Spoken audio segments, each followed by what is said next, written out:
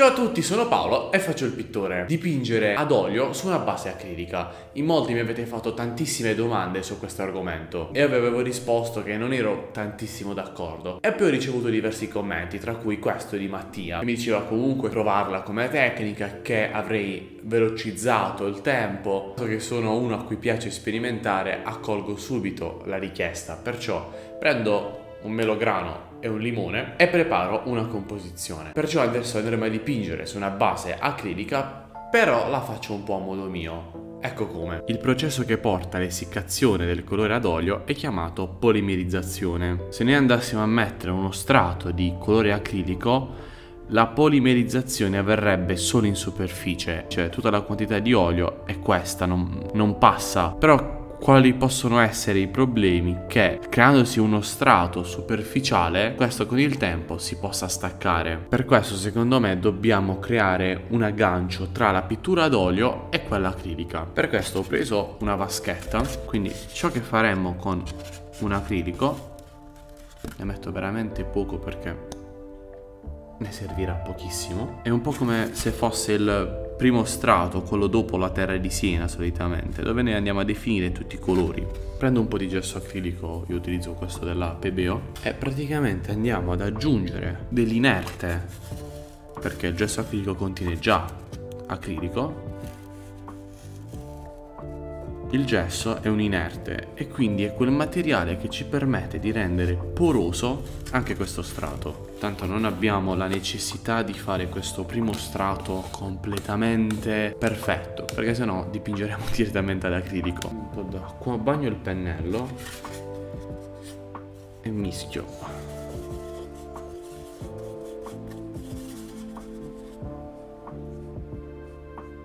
E vado riempire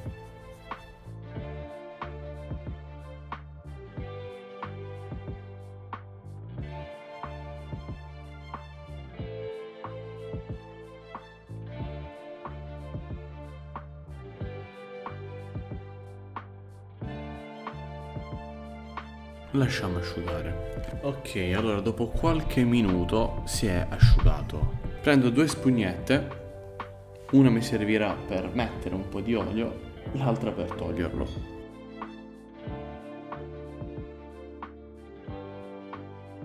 Questo ormai lo sapete, per rendere più fluida la pennellata.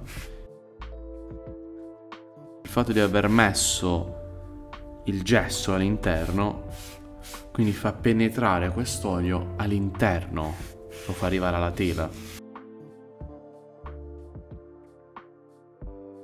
Abbiamo superato quindi due fasi. La prima, quella con la tela di Siena, che potremmo anche non, non fare, insomma, ma comunque lo strato in cui andiamo a definire i colori delle masse.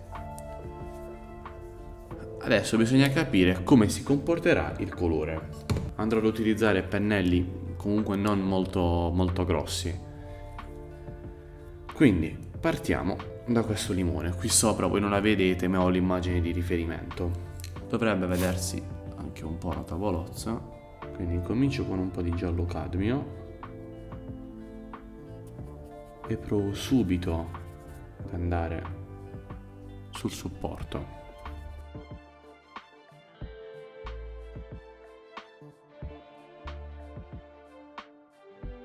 Naturalmente in passato io ho già provato a dipingere ad olio su basi acriliche, in effetti la sensazione è notevolmente diversa perché comunque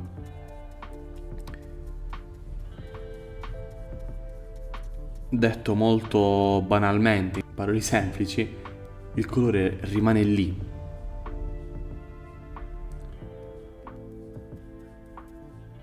Ed è, è questa una cosa che, che aiuta.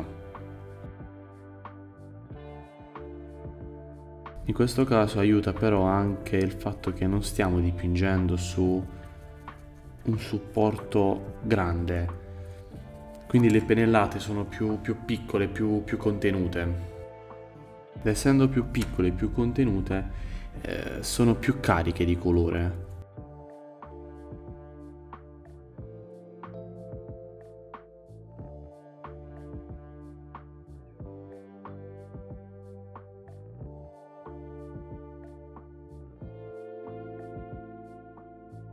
In effetti questo può essere un buon modo se dobbiamo dipingere un, ehm, un ritratto ma su una grande tela, quindi non solo il ritratto ma anche il corpo e tutto.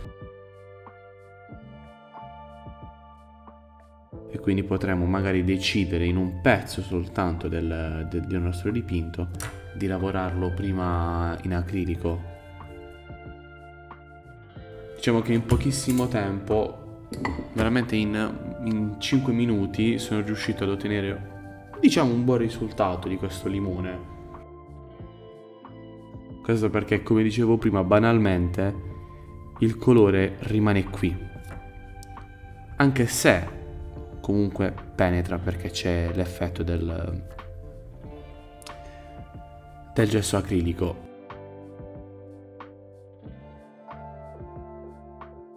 Se volete dipingere utilizzando questa tecnica vi consiglio però di eh, non lasciare pennellate evidenti.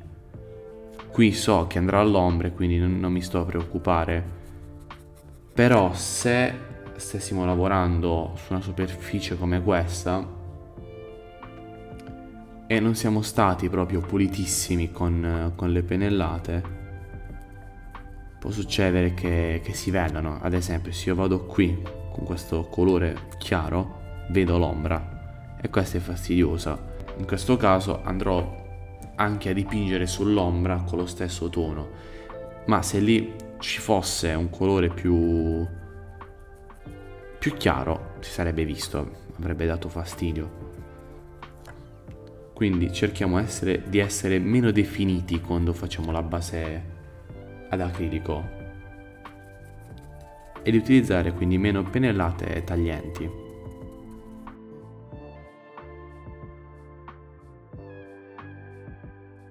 Naturalmente non vi sto raccontando tutti i passaggi perché non è proprio un tutorial, appunto sto testando la pittura su una base acrilica.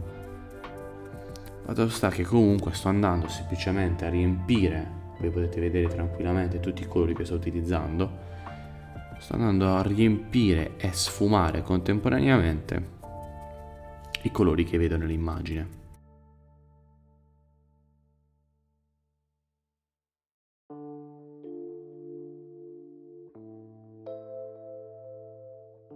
È sempre bello avere la libertà di sperimentare in questo caso, essermi liberato della, della tesi, da tutti gli impegni che, che avevo. Mi fa stare meglio, molto meglio. Provo a simulare la rugosità di, del melograno. Dipingere con una base comunque acrilica può, può anche aiutarci in caso a creare una texture se avessi voluto dare più la sensazione sia al limone che al melograno di rugosità avrei potuto lasciare delle pennellate più materiche. Tanto il gesso si, si presta anche a queste cose.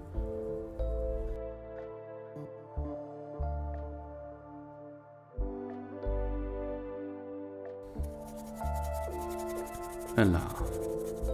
Beh, questo sì che è soddisfacente.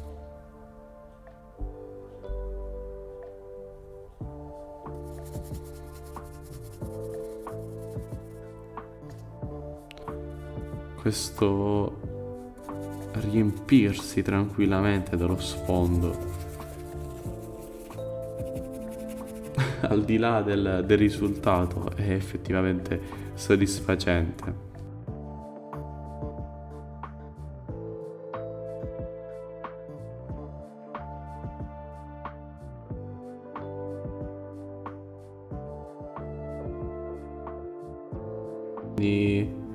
tutto sommato non è male, anzi abbiamo, ho velocizzato un sacco il lavoro facendo questo primo strato. Mi piace molto la risposta che ha il colore ad olio su questo underpainting di gesso e acrilico.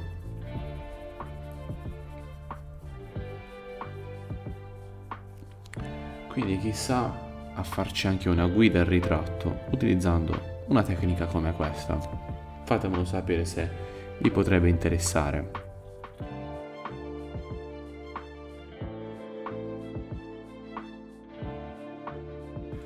Comunque, salvo imprevisti dell'ultimo secondo, mi ha veramente stupito. Quindi promossa come tecnica 10 su, su 10. E sì, sicuramente la riutilizzerò anche per, per altro. E a fine video vi dico che cosa effettivamente mi ha colpito di questa tecnica.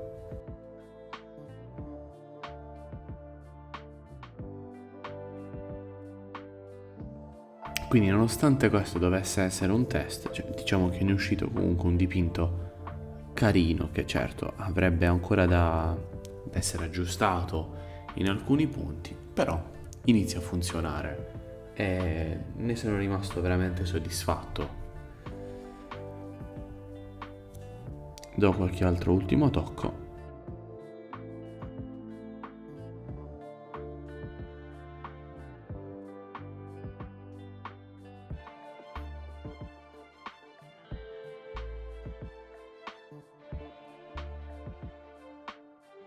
quando sarà asciutto questo molograno servirà una bella velatura secondo me per farlo risplendere al massimo